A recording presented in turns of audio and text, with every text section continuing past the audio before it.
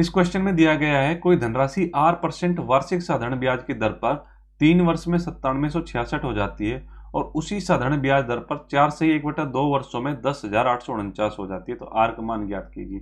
साधारण ब्याज क्या होता है? हर साल बराबर मिलता है, क्योंकि वो सेम मूलधन पर ही लगता है। वो ब्याज पर ब्याज नहीं लगता, मूलधन पर ही लगता है। मूलधन हमेशा समान रहता है तो हर साल जो ब्याज है वो हमेशा समान मिलेगा।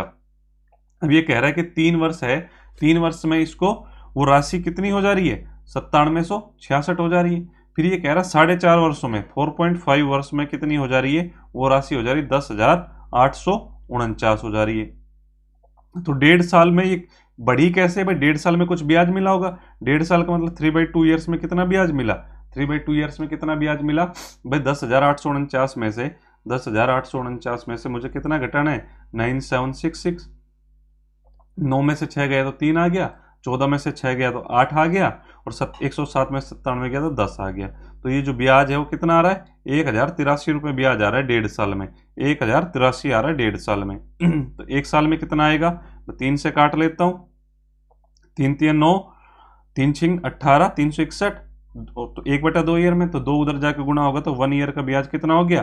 भाई ये दो दो छः बारह असल पर एक, तीन, दो, तीन छः सात। सात सौ बाईस एक साल का ब्याज हो गया। अब देखो, सात साल एक साल का ब्याज दो, सात सौ बाईस हो गया। ये क्या कह रहा है? साधारण ब्याज की दर पर तीन वर्ष में इतनी हो जाती है। तो तीन साल में कितना ब्याज मिला होगा? तीन साल में ब्याज मिला होगा इक्कीस सौ छियासठ रुपये भाई, तीन से गुणा कर दो। अब तीन साल में जो राशि है वो बढ़कर कितनी हो गई? सत्तानवे सौ छियासठ हो गई। सत्तानवे सौ छियासठ हो गई। उसमें ये क्या कह रहा है? इक्कीस सौ छियासठ रुपये तो ब्याज ही है। इक्कीस सौ छियासठ रुपये क्या है? ब्याज है। तो यहाँ से क्या हो जाएगा? राशि क्या थी हमारे पास? सात में से एक गया छह और छिहत्तर सौ रुपये हमारे पास राशि थी। अब देखो, फिर से एक चीज़ देखो आप। इसने पूछा कि आर का मान पूछा है। एक साल में ब्याज कितना आ रहा है? सात सौ बाईस।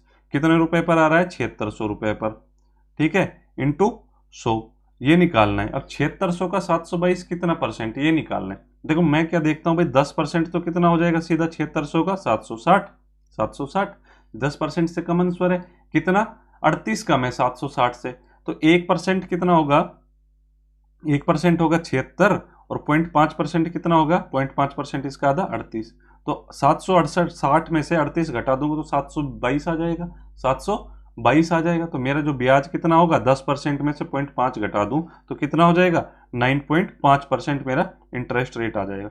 या आप इसको भाग दे लो, छिहत्तर का, ये यहाँ पर भाग देंगे तो नाइन पॉइंट फाइव आएगा, ठीक है? तो हमारा ऑप्शन ए यहाँ पर करेक्ट ऑप्शन